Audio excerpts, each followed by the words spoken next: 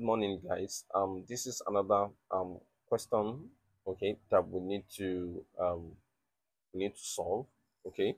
So if you um if we look at this very well evaluate either want to evaluate or simplify okay or find um so it's just breaking it down. That's just the meaning. So don't be scared by that english okay? Those are the common words in mathematics okay? You can see evaluate you can see simplify. Okay so now if you look at this very well i want to simplify this now. We have um, this is solution now okay? Um we've shared we've shared a question so we believe that um you've practiced you, you've you've got you, you've done it on your own okay? So but anytime you do questions like that share your answer in your in the comment section. But by the time we share the solution then um you know you can compare your answer together. So this is um root 20 times root 5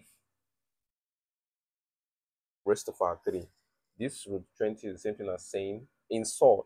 Don't forget in surd. I said it, you can split. In multiplication, you can split it. This is the same thing as saying 5 times what? 4. 5 times 4 is what? 20. Okay? Times, this is the same thing as saying root 5 times root 5 times what? Root 5. Okay?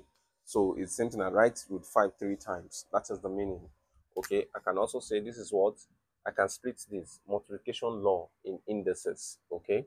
This is root 5 uh, multiplication law in surd rather. So this is root 5 the same thing as what? Root 4 times root 5 times what? Root 5 times root 5 okay? So i'm looking for a perfect square. In your mind you'll be thinking how do i simplify how do i simplify this? I'm looking for a perfect square. Okay. So it means that at the end of the day, so at the end of the day, we can say that this is, I'm looking for a perfect square. 5 times 5, 25. Okay, let me do it like this. Root 5. I'm bringing this 5 to this position, move 4. Root 5 is the same thing. Either you move it around.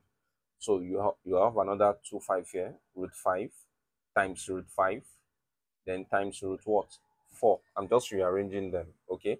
5 times 5 that's root 25 okay? Then 5 times 5 is also what? Root 25 then root what?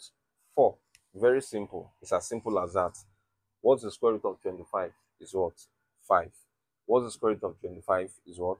5 simple. Just like chin chin what's the square root of 4 that is what? 2 it means 5 times 5 25 25 times 2 is what? 50 it's as simple as that. So it means you just go to the objective. You go to the um you know what you have then look for 50 and pick your answer. It's as simple as that. Evaluate break it down to the pieces simplify also break it down. So we break this one down and the answer is um is 50 please go through all those parts go through surd. Go through factorization. Go through indices.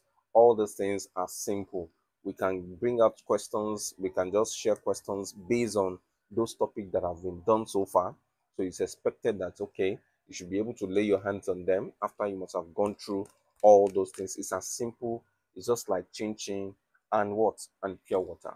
So continue to like continue to comment continue to share okay so that a lot of people can see that um, mathematics is not a challenge it's not a problem. It's something that yes it's very interesting and it's simple and um, um, and straightforward. Thank you very much. Cheers.